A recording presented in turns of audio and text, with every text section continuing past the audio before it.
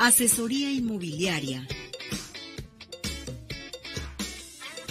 Así es, sí, muchísimas gracias. Y bueno, si usted anda por ahí interesado en comprarse una casita, hacerse de un bien, este, ahora sí que inmobiliario, qué mejor manera que hacerlo a través de un experto con el ABC de cómo hacer su compra y la mejor manera de hacerlo con nuestro queridísimo ingeniero Martín García, que nos acompaña de Mundo Firme, nuestro director. ¿Cómo está, ingeniero? Salvador, primeramente con el gusto de verlo de nueva cuenta. Un placer. También felicitar al programa por sus 30 años. No tuve la oportunidad de estar el día de la celebración. Seguimos Pero finalmente felicidades, un gran logro y un gran avance.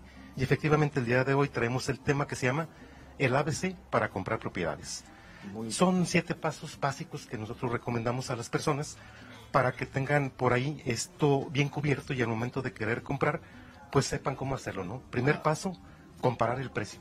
Ahorita hay mucha oferta, entonces es muy conveniente que siempre se haga una pequeña tablita donde se vaya poniendo superficie de terreno, superficie de construcción, las características del inmueble, recámaras, baños, etcétera, acabados. Qué importante, y posteriormente, bueno, ya una vez que has Ajá. decidido cuál es la casa que te gustó, ahora sí checar papeles. ¿Qué significa esto? Bueno, escrituras, predial, agua, que todo esté en orden. Yo creo que eso es bien importante, perdón que, que en esta parte, porque se están prestando ahorita muchos fraudes, ¿no? De pronto, entonces hay que tener muy, muy, muy claro que sea una propiedad realmente avalada por un notario de que es de la persona correcta el dueño, ¿no? Y si no, cuando menos con el asesor inmobiliario, que es el que le puede dar la orientación.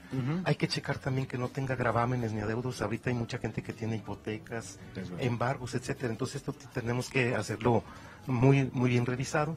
Hay que dejar siempre ya una vez que haces esto, un anticipo para que le des la garantía a la seriedad de la oferta, tener un contrato de compraventa, que sería el siguiente paso, donde ya formaliza la operación con una pena económica en dado de caso de incumplimiento.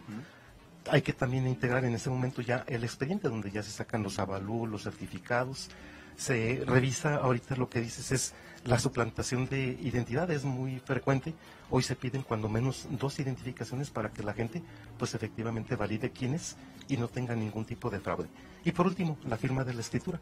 Es el culmen donde ya quedas totalmente asegurado de que tu bien raíz ya es de tu propiedad, ¿no? Entonces estos serían los siete pasos que nosotros recomendamos para que si van a invertir lo hagan con todo el cuidado y sepan seleccionar primeramente el inmueble y firmar la escritura correctamente. Definitivamente que no nos gane la emoción, de repente la, la, la comezón, como dijeran por ahí vulgarmente, de comprar. Hay que tener cuidado con eso. Y para hacerlo a través de un experto, ¿dónde lo podemos encontrar, ingeniero? Claro, estamos en el 333-147-0808. Mi nombre es Martín García y estamos para servirle cualquier asesoría inmobiliaria. Es totalmente gratuita. Basta que digan que es del programa Arriba Corazones. Perfecto. Gracias, ingeniero, por estar con nosotros.